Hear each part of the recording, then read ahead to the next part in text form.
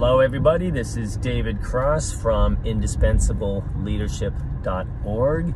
Uh, you want to check out our our podcasts and our uh, uh, videos here. That's uh, IndispensableLeadership.com. And today, as I am filming this, is December the 31st, which means we're the end of the year.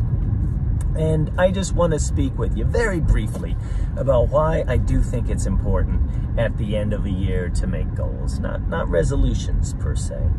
You know, resolution doesn't mean anything. A resolution is saying, um, I'm going to get healthy. I'm going to lose weight. This stuff only becomes meaningful when you create a goal. I'm going to weigh 170 pounds by uh, January the 30th. I'm going to weigh 165 pounds by February the 28th. Goals are what make us actually act. And you got to have a goal and you have to have a real feeling behind it that it's necessary. Now, you all know I'm a big Eagles fan. I'm in Philadelphia, and I'm watching this crazy Philadelphia Eagles team that couldn't start winning until if they lost, the season was over. But we all act like that, don't we? You know, I just mailed off my, uh, I just mailed off my fee for my license to give tours in uh, 2020 you have to pay a, a, license fee. It's a new thing. I'm not crazy about it.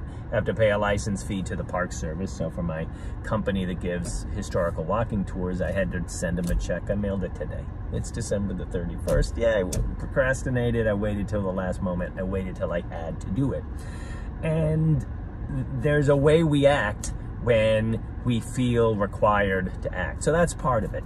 You got to make a goal and you have to make a goal that matters to you. If you make a goal that doesn't truly in your heart, in your guts, in your soul matter, then you're not going to make it. So when it comes to losing weight, I need to lose weight again. I'm going to lose weight.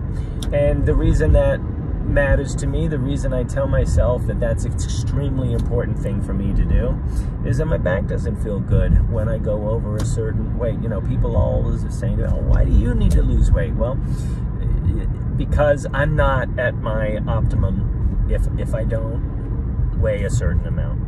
So that affects everything. It affects my work, it affects my sleep, it affects how much I get done, it affects how active I am, and, you know, a number is a number, right? Uh, in terms of, of, of a number on the scale. But when you look at the effects that can be had by making a goal, by reaching a goal, that's when that, that goal happens. We all walk because as babies, we had a goal to walk.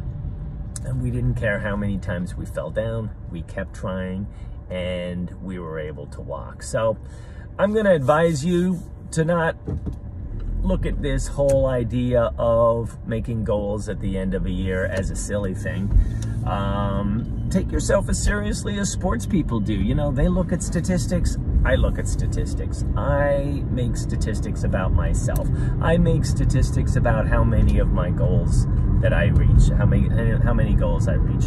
And I make long-term goals, which almost often, almost always I don't make. I don't reach a lot of my long-term goals at the end of the year, but I, because I always make large enough goals that, that just by getting close to them, uh, that's going to make a big improvement in my life. But I have long-term goals, and I have monthly goals, and I have weekly goals, and I have daily goals and I have things and I keep records, you know, just like a baseball player who goes two for four or he walks and he's just, you know, he's looking at his stats at the end of the day. Oh, I got another save. You know, why should baseball players and football players and basketball players uh, pay such importance to that? Well, because those stats, they mean nothing in and of themselves, but they bring about what they're after, which is uh, optimum performance. And so, you know, I give, I, get, I take those stats on myself. I, I, I, get a point when I wake up at 5.15 in the morning. Um, I, I get a point when I, I do yoga uh, or I go to the exercise place. So uh, I want you to think about that today if you can. Think about some of the changes that you can make in your life, some of the goals that are worth having. Another goal I have this year is I, I need to train my dogs better. They're, they're just a, a, a catastrophe when I take them on a walk. And we've been complaining about this, that my whole family, we all complain about it. We've complained about it for over a year.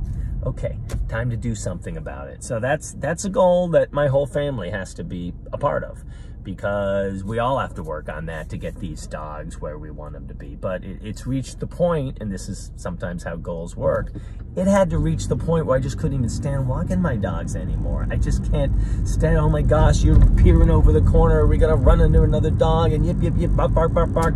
Um, so make those goals, you know, if there's something you've been complaining about all year, then, uh, then, then, then change it we're very lucky human beings. We we we uh, we we won the lottery just by being born, and we won the lottery by being born in a time and a place where we have control over our own lives. And part of that control is we get to make our own goals.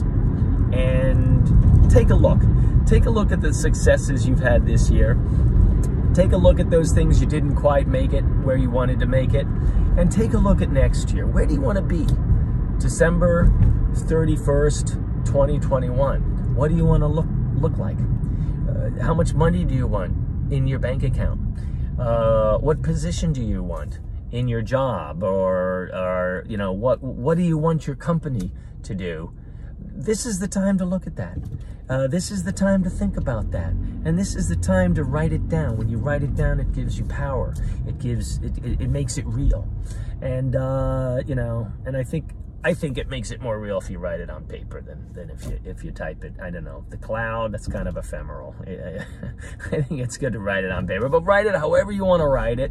Make some of these goals that are truly important. Don't make a goal just to make a goal, but you know there's ways that you can improve your life this year. You know there's things you've been complaining about without ever acting upon. So this is a great day think about all of those things. So I want to uh, thank those of you who have been watching uh, the videos, listening to the podcast as uh, Indispensable Leadership got started in 2019. Uh, I expect 2020 to be a very a big year for Indispensable Leadership, and uh, I hope to uh, see all of you during the next 12 months in which all of us, you, I, we're all going to succeed together.